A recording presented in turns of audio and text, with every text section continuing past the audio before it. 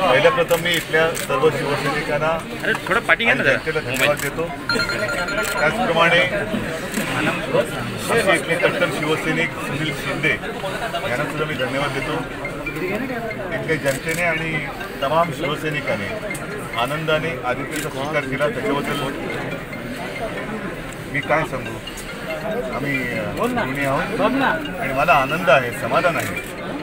आजपर्यंत आमच्या घराण्याची जी परंपरा आहे समाजसेवेची ती आता पुढच्या कायम राहिलेली आहे. ठीक आहे. माझ्यापर्यंत निवडणूक कुटुंबाचा होता घराण्याचा होता. पण आता नवीन पिढी आलेली आहे.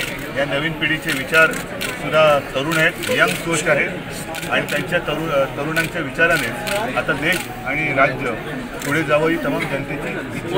पहिला तर मला आनंद आहे.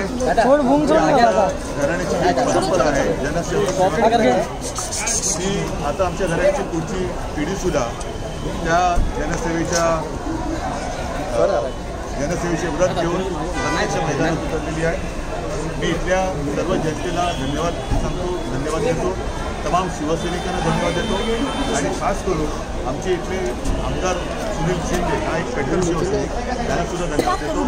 आणि जे जी लोक आदित्यला आशीर्वाद देत आहेत त्यांना सगळ्यांना मी मनापासून नमस्कार करतो आणि धन्यवाद देतो. आणि त्याचबरोबरीने केवळ वरळीकरणच नव्हे तर महाराष्ट्राच्या जनतेला हे देतो की हे जे जनसेवेचं अविरत व्रत आमच्या घराण्याने घेतलेलं आहे त्याच्यात कुठेही खंड पडणार नाही. सर सर एक सवाल सर मनसे ने उम्मीदवार नहीं दिया वर्ली में सबके सबके लिए मैं जो भी आशीर्वाद देना चाहते सबको चला विजय भव आणि हा विजय विजय भव यशस्वी भाऊ म्हणतो म्हणजे तो